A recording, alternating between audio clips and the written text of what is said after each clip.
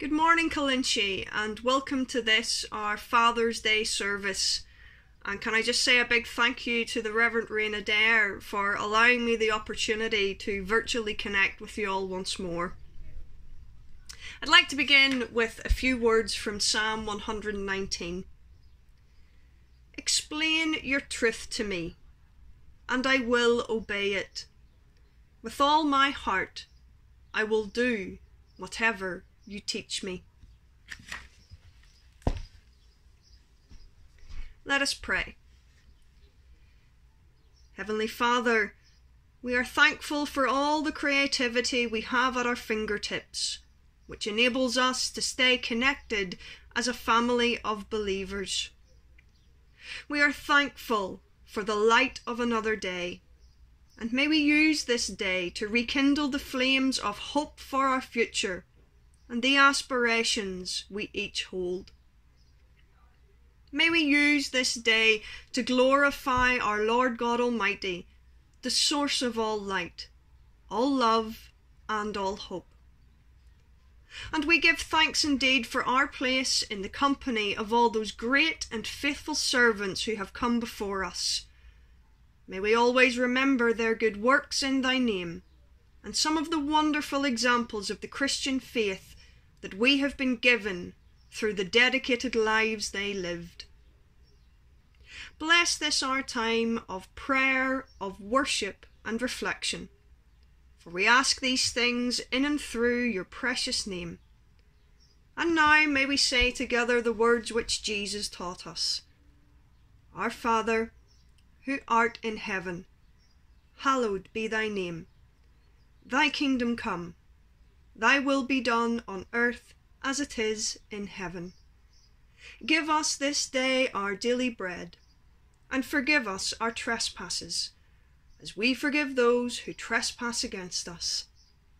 And lead us not into temptation, but deliver us from evil.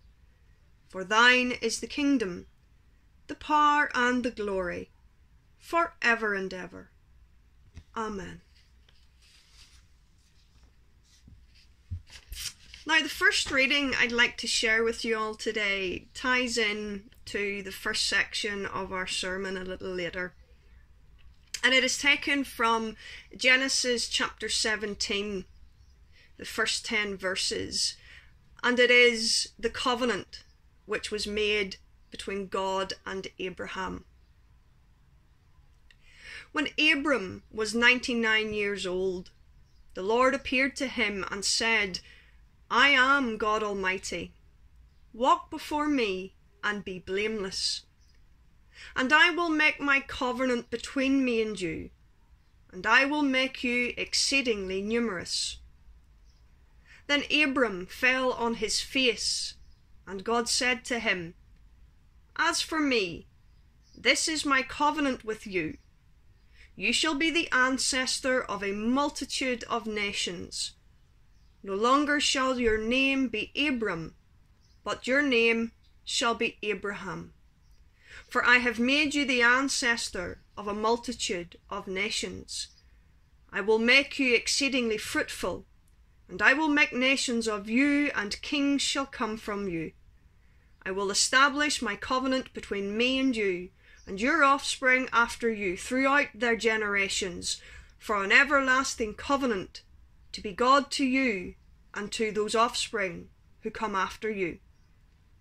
And I will give to you and to your offspring after you the land where you are now an alien, all the land of Canaan, for a perpetual holding, and I will be their God. God said to Abraham, As for you, you shall keep my covenant, you and your offspring after you, throughout their generations. Amen. Now, for something just a little bit different, here's one for the kids. Hi, boys and girls. It's Linda here with another little chat for you. I'm still missing you all. Hope you're all safe and well. This, boys and girls, is Roxy.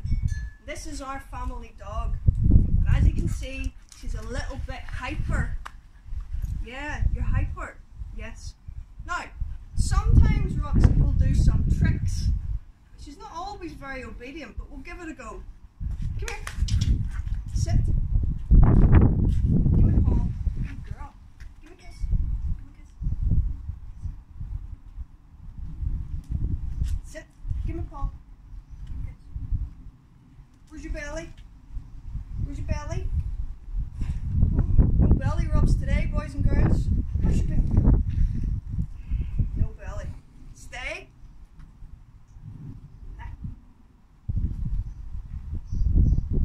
She loves the. Ah, ah, ah. These are her favourite treats, boys and girls. She's only allowed it when Mummy says so. Okay. Good girl. Now, the important lesson for today is it's Father's Day, and it is important to do what Mum and Dad says. But you know something, boys and girls? Sometimes people might ask us to do things that we shouldn't be doing. And sometimes we might be asked to do things that make us very uncomfortable. You don't have to do those. So remember, stay safe and stay happy. And be obedient to mum and dad. It's very important. And be good to your pets. And if anybody wants to come and walk Roxy for me, perfect. See you next time. Bye. Now, the following musical treat is an amalgamation of the great talents of two wonderful women. So, a big thank you to Claire for her playing and to my friend Janine for her singing. And believe it or not, neither of them did this jointly. It was a virtual collaboration. So, fingers crossed you all enjoy it. Abba, Father, let me be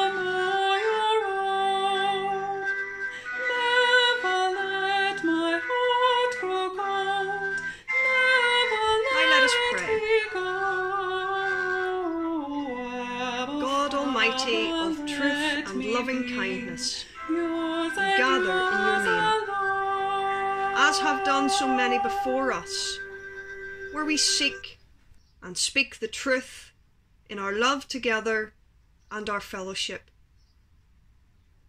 Save us, our Lord, we pray, from the arrogance of telling others what they should or should not believe, what they should or should not do. Give us courage and clarity to humbly witness to our own faith without harming or oppressing others. And we remember today all those who have suffered fear and persecution in your name. Strengthen them and bring peace to wherever our brothers and sisters are at risk. And we ask indeed that each and every person in our world today be free to express their heartfelt beliefs, their honest questionings, and that we each allow other people the liberty to do likewise. And though we claim the right to advance our own thoughts in matters of faith and of the Spirit, help us never to wrong others or attack them or undermine them in any way as we do so. Help us, Lord, to be partners with whoever walks in your name beside us. Help us to focus on fellowship and collective understandings. Help us to appreciate the individual choice and reason of each and every believer. And help us to live in peace and harmony. We ask all these things in and through your precious name. Amen. Now, for a second reading today, I'd like to share with you all, surprise, a little something from my probably my favourite spiritual religious author, John O'Donoghue. And this being Father's Day, I thought that this was very apt. And this poem is about the threshold of manhood. As you leave the blurred wood you entered while still a boy, and light clarifies around your emerging manly form, may you discover gradually a natural confidence in your body. May your new strength be graceful as you learn to carry yourself with a dignity that is sure, bringing your gestures and expression into an easy harmony and rhythm. May you never feel the need to be coarse or force yourself. Rather, may you receive your manhood with grace and mindful ease. Then, at one with your own elegance, your presence will claim its radiance. May you awaken confidently to the feminine within you and learn to integrate the beauty of intuition and feeling so that your sensitivity kindles and your heart is trusted. That you may slowly grow to trust the silence of the masculine as the hum of your stillness. Though it will always be difficult to find the words for what you feel, may you find ease in that awkwardness until gradually from beneath the gravel of stuttered sounds the pure flow of you emerges. Be gentle with yourself. Learn to integrate the negative harnessing its force to cross the boundaries that would confine you. Love the life of your mind, furnishing it ever with new thought, so that your countenance glows with the joy of being alive. Be vigilant and true to an inner honour that will not allow anger or resentment to make you captive Always have the courage to change, welcoming those voices that call you beyond yourself. Beyond your work and action, remain faithful to your heart, for you to deepen and grow into a man of dignity and nobility.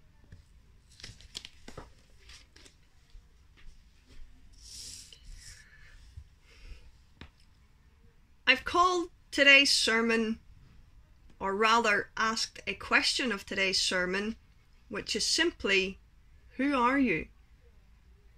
Now, once upon a time, I was a team leader with Child Evangelism Fellowship, and I was also a member of the overseas youth team within the Presbyterian Church in Ireland. And I loved working with children back then, and I still love it today. And one of the children's choruses that I recall fondly we used to sing was called Father Abraham. And it involved a lot of fun, uh, a lot of silly actions, and all the kids used to love it. And I recall more than one occasion where I couldn't even play my guitar because I was laughing so hard at all the other leaders doing the actions.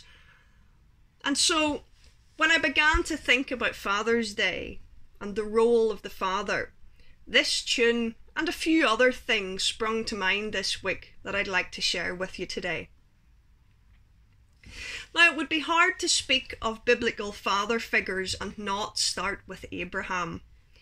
Abraham is often referred to as the patriarch of the three greatest or largest monotheistic religions Judaism, Christianity, and Islam.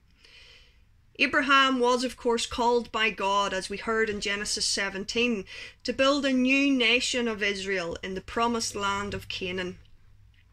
And Abraham's strength lay in his great faithfulness to God, even to the point where he was willing to sacrifice his own son, Isaac, at God's command. An action which raises horror to me personally as a parent, and a story which I don't mind acknowledging that I struggle with. However, Abraham was promised that his offspring would inherit the promised land, and this was the treasured covenant made between God, Abraham, and Abraham's descendants. And so the sons of Abraham, the promised offspring, and the descendants of all the Jewish nation began with Isaac, born of Abraham's wife Sarah. And Jesus' very genealogy is traced indeed back to Isaac also. So the significance of the father figure cannot be underestimated, and it is fitting with the culture and therefore the writings of the time, with much lesser credence being given and attributed to those women who bore the sons. And this patriarchal dominance was very much the archetype for many generations that followed. But I'll stop now for fear I ruin the moment by verging on a feminist rant about patriarchy. But of course, it isn't only scripture that we find explorations of the father figure. My mind was cast back to the days of my English A level, where one of the books I studied, and which still remains one of my favourites today, was Wuthering Heights. And where to start? Catherine and Hindley's father, Mr. Earnshaw, adopts this waif like orphan called Heathcliff, who soon becomes the absolute apple of old Earnshaw's eye, his favourite child. To quote, this endurance made old Earnshaw furious when he discovered his son persecuting the poor, fatherless child, as he called him.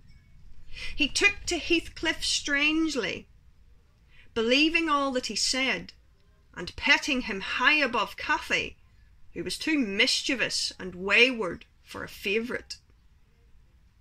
And yet this poor fatherless child, despite all the love and care of old Earnshaw, would go on one day to actually bully and mistreat his own son Linton and on Linton's arrival at Wuthering Heights to reside with his father, Heathcliff said to him, Now, my bonny lad, you're mine, and we'll see if one tree won't grow as crooked as another, with the same wind to twist it. And I think this great novel sparked so much debate around the psychology of our genetics. Are we all our parents' children? Or are we somehow the outcome of how we are nurtured and the influences around us? I wonder how many of you Killinchy men are just like your fathers? And if so, do you perceive this as a negative thing or a positive outcome? Is it something you're proud of or something you'd rather to change? Now, a little closer to home, and a bit more contemporary, is a poem called Digging by Irish poet Seamus Heaney. And in this touching and insightful poem, we get a glimpse of the men who went before Heaney, his father and his grandfather, as we read of how they took to a day's work. His father adeptly handling a spade in the garden, and a glimpse then of a young Heaney taking milk for his grandfather to drink whilst cutting turf. And both are depicted in this brief poem as men with the capacity for a great day's graft, for a great day of manual labour. And this is a sentiment I'm very familiar with. Where I grew up, in rural County Antrim, a man was often afforded calibre and respect by how well he could graft and how hard he could work. It is this idea that a man's worth is somehow formed by strength and endeavour, by sweat and labour. And whilst we know that not all men have these particular qualities, I feel there still resounds some harbouring of such mindsets today. Particularly, I feel in some more rural communities. and what pressure this exerts on the man who does not find his best qualities in physical labour or hard graft. I hope that it is only by context and not necessity that I point out the glaring shortfalls in how scripture, classic literature, and society have typically depicted men. Macho, brave, courageous, stoic, the provider, having strength, a role model, the head of the family, the patriarch in our society, to reference just a few terms. What pressure many of our men must feel. Sadly, in 2018, 228 men in Northern Ireland took their own lives. And men in our country are three times more likely to commit suicide than women. Reasons can include trauma, unemployment, debt, social isolation, family breakdown, homelessness, and chronic disease, to name a few. What pressure they must have felt to conform, to cope, to struggle on, and to do so with an appearance of stoicism and decorum, like everything is fine and it can't be otherwise. Well, I wish today to challenge those stereotypes, and I know I'm not the first. I wish to offer a reassurance to all those men listening in today. It's okay not to be okay. You do not have to be anything other than true to yourself. It's okay to hurt. It's okay to feel weak. It's okay to cry. And it's okay not to want to live up to those socially constructed stereotypes of what a man should or should not be. Be yourself. Be the man that our God created you to be, and in doing so, you're being true to your Creator. And it is in that openness and that honesty that the key to many of life's struggles lie. And if you are struggling with any of these issues today, please do contact the various support groups and organisations that are available to help. Samaritans, Lifeline, the Men's Advisory Project, or Aware NI. Or indeed, please do touch base with your minister. I leave you with something a little more light-hearted some fantastic advice from the wonderful Dolly Parton, who says, Find out who you are and do it on purpose. Amen. Now, just in case you were in any doubt about how diverse men and fathers are, the following's a little something to jog your memory.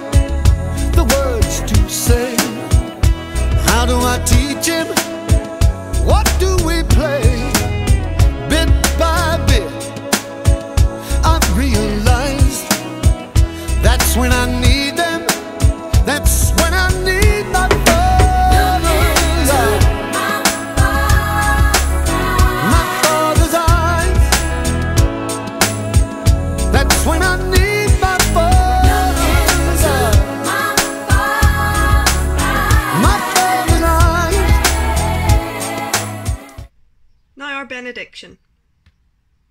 May all we do be done to the glory of our God, this day and forevermore. Spread a little light and a lot of love. God bless you all. Amen.